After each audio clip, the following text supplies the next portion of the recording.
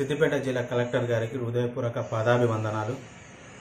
Sir గారు ఎప్పుడు ఆరోగ్యంగా ఉండాలని కోరుతూ ప్రతిరోజు తన వద్ద వచ్చే ఎంతో సమస్యలతో ఉన్న సార్ అందరి అందరికీ తన వంతు విని సహాయ సహకారాలు చేస్తూ ఎంతోమంది ప్రజ ప్రజల హృదయాలలో నిలిచిపోయిన సార్కి ఎల్లవేళలా ఆయుర ఆరోగ్యాలతో ఉండాలని కోరుకుంటూ తన యొక్క ప్రతిబింబాన్ని నా కుడి చేతి పైన వేసుకున్నాను.